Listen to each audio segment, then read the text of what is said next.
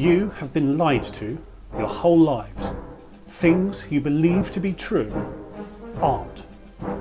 The planet we live on does not look how we've been taught. Let me explain. Hi, I'm Matt. Over the last 25 years, I've travelled a lot. I've lived in five countries on four continents. I've flown over 1.3 million miles.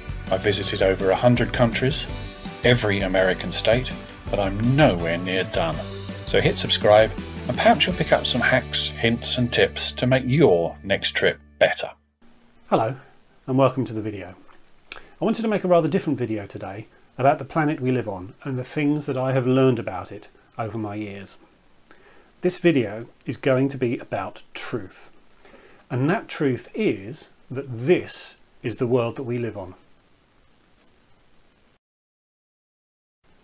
No, of course not. This is the world that we all live on, and what a beautiful thing it is too. Quite a few people do seem to believe that the Earth is flat though, particularly amongst our American cousins. Indeed, according to the Flat Earth Society, they have members all around the globe. I would so love for that to have been real, but it would have been very, very easy for somebody to fake. It's funny though. I'll come back to the Flat Earth Society a bit later on. So the Earth is a sphere. It's an oblate spheroid, actually, but that still is a sphere. The lies I want to talk to you about today concern how we've converted a three-dimensional globe into a two-dimensional map. So we need a brief history lesson. Gerard Kremer is the chap we have to thank, or blame. Gerard Kremer was a Flemish cartographer and mapmaker who very cleverly flattened a three-dimensional globe onto a two-dimensional map in a way that means that any course of constant bearing is represented on that map as a straight line. That was really, really helpful for sailors, even though it meant that certain liberties had to be taken with the representation of the Earth away from the equator. Some say the Chinese had done this centuries earlier, but Kremer was the first to perfect the techniques required for making this map, which he then published for the first time in 1569. If the name Kremer isn't ringing any bells, that's because stage names were a thing even in the 16th century. Kremer is best known under his trading name of Gerardus Mercator, and his projection is known to this day as the Mercator projection. Not a lot that was made in 1569 is still in daily use today, but the Mercator projection is. Antarctica is usually cropped off, but I'm sure everybody recognises this as the world we live in. But it lies to us. Greenland appears the same size as Africa, whereas Africa is actually 14 times larger.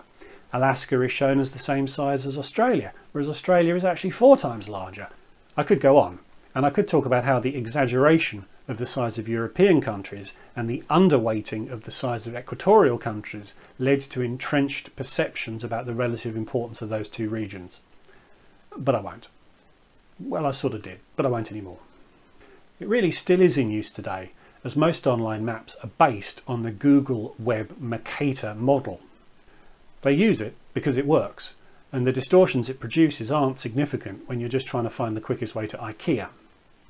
Interestingly, and I use the word advisedly, if you scroll out on the desktop version of Google Maps, the world turns into a sphere, whereas if you scroll out on a mobile application, it stays flat.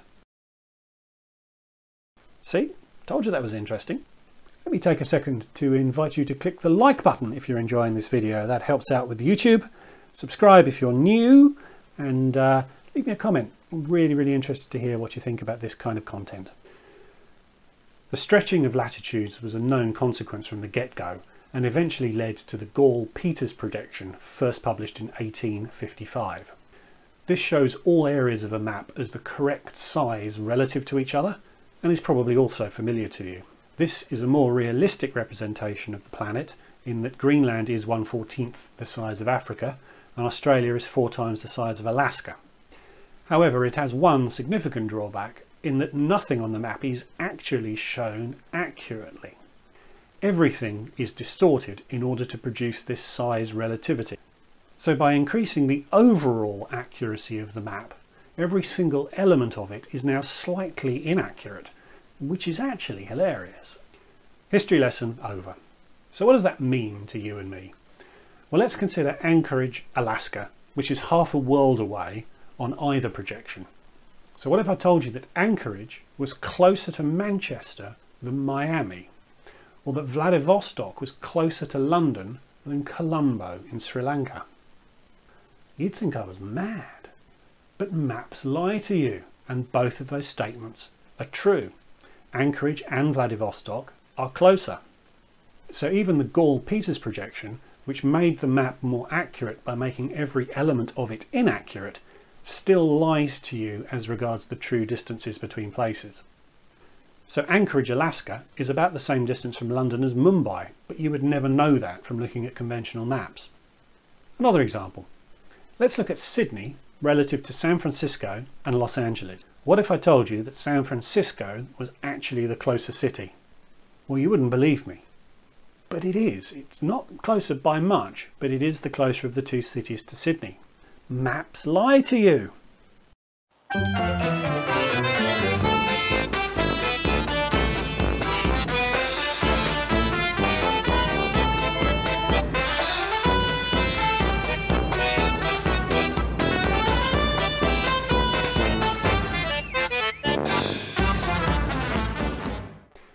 So let's look at another way in which maps lie to you. We all know that the shortest distance between A and B is a straight line, right? Well, it is unless points A and B are on a sphere. So let's look at a flight between Madrid and New York, which are both on a very similar level of latitude. The straight line has got to be a shorter distance than the curved line, right? Well, no, because the curved line is shorter on a sphere. Why? Well, because of the great circle effect. The great circle is found by cutting the Earth in half with a line that goes through the origin, the destination and the centre of the Earth. This is shorter than the direct route because you don't have to go up and over the bulge of the Earth to the same extent.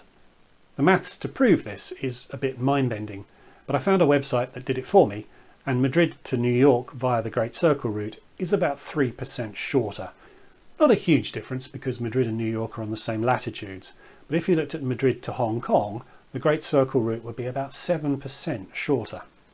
Pilots will have to consider jet streams, weather, fuel and various other things in determining a flight path, so may not always follow the Great Circle route, but this is the reason why flight paths always look so bendy. So does that matter in the real world? Well, I think it does. Imagine you're in London and needed to go to Hong Kong. A direct flight is obviously the easiest way to get there, but they're often more expensive than connecting via an intermediate city. You may enjoy flying Qatar Airways, I certainly do, and you may notice that Doha in Qatar is about halfway along a direct line between those two cities, so it might seem to be a logical choice for a stopover. While London to Hong Kong via Doha is an amazing 20% further than a direct flight. That's 1200 miles further, which is a good three hours flying time, not to mention the extra time taken to change planes in Doha. If you do want to break the flight, then consider Helsinki, which is just about bang on the Great Circle route from London to Hong Kong and is only actually 17 miles out of the way. Another quick example, London to Perth. You can now fly this direct, but as it's a 16 or 17 hour flight, you may very well not want to. So where might you stop on the way? A direct flight is 9,009 miles using the Great Circle route. In this instance, Doha is a very smart choice because it's only 40 miles out of your way, virtually nothing.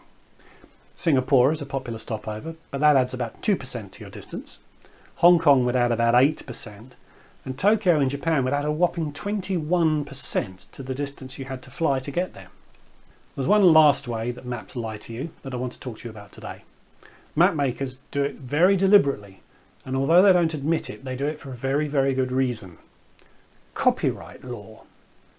This is unlikely to cause any real inconvenience to anybody, but for years map makers have included deliberate errors in their maps as a way of trapping people who may attempt to copy their maps. I think I said the word maps too often. These are known as trap streets, for obvious reasons. I heard many years ago that every single page of an A to Z has a deliberate error on it. That's very hard to validate, but in researching this video, I found one report of somebody who had found a hundred such errors in this very book. One known error is that there is no ski slope in Haggerston Park. Another well-known and somewhat tongue-in-cheek error is that there is no Lye Street in Bristol. For younger viewers, in the days before smartphones, us old people used to have to carry one of these around with us whenever we went anywhere if we wanted to know where we were or where we were going. Can you imagine? So there you go. That's three ways in which maps do lie to you. I hope you've enjoyed it. I hope you've learned something. Maybe there's something in there that will be useful to you one day. If you enjoyed the video, please click the like button if you're new, click the subscribe button and the little notification dingy dingy bell thing to be notified when I post new videos. Please, please leave me a comment because I love to read them.